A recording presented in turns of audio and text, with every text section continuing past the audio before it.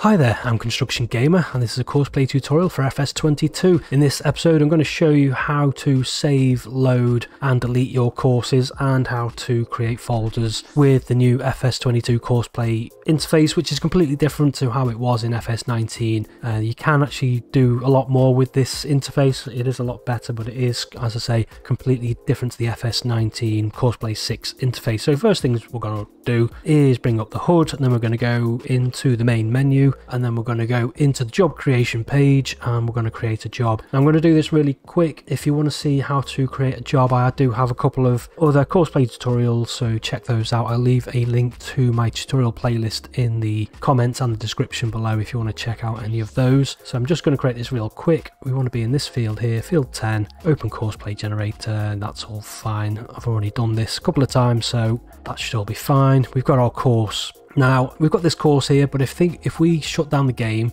and then came back to it, it's more than likely this course would be not there anymore. So we need to save these. Now with Courseplay, with the new Courseplay 7, we've got some new features. So obviously we've in the main menu, we've got vehicle settings, we've got global settings, and then we've got the course manager setting here. Now I've already got some courses laid in, and what I'm actually going to do before I do anything else is actually delete these. So what you need to do if you want to delete or modify any of your courses is to hit the spacebar or hit change mode there and you can see you get some new options down the bottom. I think we're going to delete this mow and collect one. So delete entry, you can either hit X or you can click the button. I always just click the buttons because I just find it easier and then hit yes. So we hit, I think we can delete this folder as well. So if we go to delete entry. So once, if you want to delete a folder, you can't do it if there's actual courses in it but once you've actually removed all the courses it just has the same option so if you go to delete entry and then hit activate it should should delete that but it's not i don't know why Change mode, delete entry, activate. Yeah, there we go. Just had to go out of the main menu. Maybe it was just because I deleted the course previously. So yeah, it's just the same as deleting courses. Obviously, once the folder is empty, just go delete entry and then we don't have any folders. So we've got our new course. We want to save that. But before we do, we want to go back to change mode again.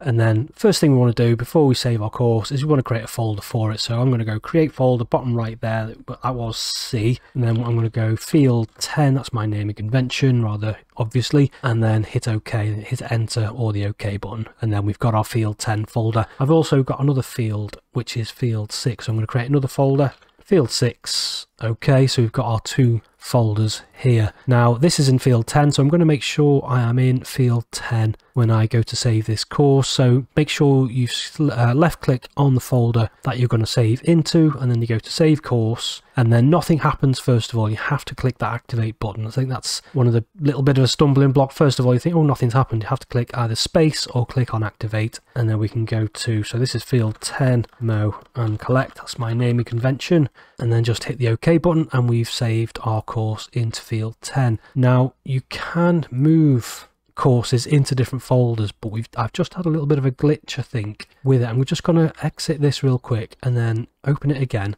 So if I click on my course go to change mode and then down here we should have move entry and then I should be able to click on field 6 and then activate but it just does it just deletes the folder. So i'm not sure if there's a little bit of a bug. I am on uh, 7.0.1 i think is the latest version that i'm on. So i think for now it's probably just safer to save make sure you have the correct folder selected when you want to say uh, save your course. So I'm just going to recreate that folder. It might be something that I've done slightly wrong, but it does seem to be a little bit of a little bit of a glitch. It did work previously. So yeah, make sure you've selected the right folder before you go save course. Now let's say we want to start a new course on something. So we've got this course loaded here. We want to clear this course, so nice and straightforward. There's a big clear current course. Hit that and then we've cleared the course that we're on. And then to actually load the course we're going to hit that moment collect. So obviously we want to left click on the folder that it's in left click on the actual course we want to load and then down here we can either hit X or we can hit the button. And then obviously we have to hit the activate button again just there we go, so we've loaded that course. So it is relatively relatively straightforward, but it is a lot different to how it was in FS19. What you can also do, which I don't think you could do with FS19, is actually change the name of the actual courses. So if we go to um, change mode again, and then you can see here we've got rename entry. And then once you've hit that, obviously activate again, and then we can go 10, 10, just to show you that you can actually change the name. So we go back to, if we go back to change mode, this is the current mode that you will have at the beginning when you first go onto the course manager option. You go to change mode, you go to rename entry, activate, and then 10 mow and collect. Hit enter, and then we've renamed that uh, entry. And you can also do that for empty folders as well. Can you do it for rename entry field 11?